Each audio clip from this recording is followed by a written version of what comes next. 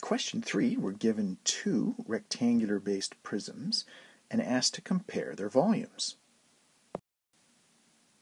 First, let's solve the problem visually, then we'll confirm it using algebra. Now, when we're thinking about volume, we're thinking about filling in the space inside a container.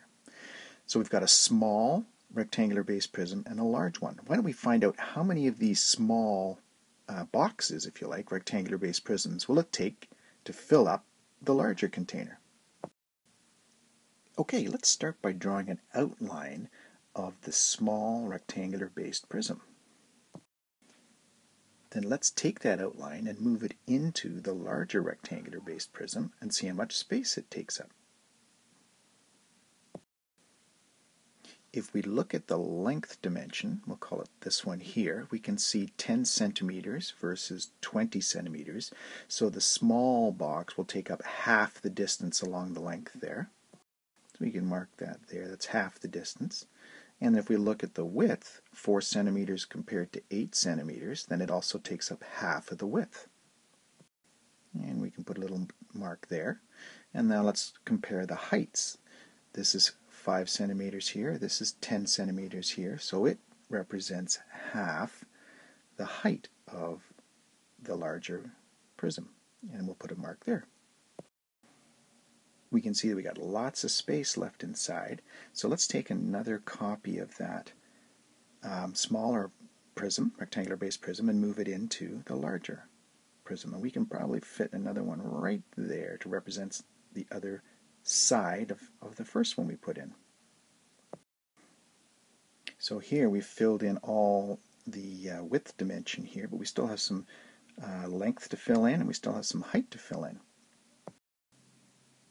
So let's keep going. We'll take another copy and we'll move it in and we can see that we can fit it in right there. And in this case, what we're doing is representing the last uh, second half of the length here. That's filled in that spot. But we still have some space behind that here. So let's take another copy and move it in to that space at the back, like so. So we filled in sort of a bottom layer here of the larger rectangular prism and we have, let's see, we've got one, two, three, four of those smaller prisms inside already, but we still have lots of space at the top. So let's continue the process and we'll take another copy of the smaller rectangular base prism and we'll move it into the larger one and start filling in. And it looks like we can fill in the top half of that first one we put in there. And then quickly we can keep going here. We can get another one to go beside that one to fill in the other part there beside it and then another one to fill in at the back behind it and then finally the last one to fill in that space again at the very back. So our larger container is now full and we put in it um, a fifth, a sixth, a seventh, and an eighth smaller rectangular base prism. In other words, the volume of figure 1, the larger rectangular base prism, is 8 times bigger than the volume of figure number 2. So visually it looks like our answer is the last one here. The figure 1 is 8 times the volume of figure 2, but let's confirm that using some algebra. Well, we know that the volume of any rectangular base prism is equal to the area of its base times its height. So volume is equal to the area of the base times the height. Or if you prefer, length times width, which would be the area of the base, times height. So let's start by looking at the volume of the larger rectangular based uh, prism. So our volume would be, volume of figure 1 would be its length times its width times its height and its length is 20 centimeters, its width is 8 centimeters, and its height is 10 centimeters. So we put those in here. 20 times 8 times 10. And we multiply those together. 20 times 8 is 160 times 10 is 1600, and the units would be centimeters cubed.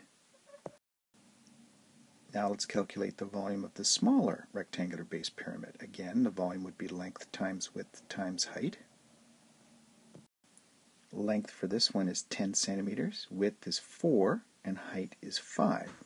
So if we put those in, 10 times 4 times 5, and 10 times 4 is 40 times 5 will give us 200 centimeters cubed. So now let's compare the volume of the larger one to the volume of the smaller one. Well, the volume for the larger one is 1600 centimeters cubed, and the volume of the smaller one is 200 centimeters cubed. Here we can eliminate the units, take off two zeros, and then 2 goes into 16 eight times. In other words, the volume of the larger rectangular base pyramid is 8 times the volume of the smaller rectangular base pyramid. So we've just confirmed our answer using algebra. And there you go.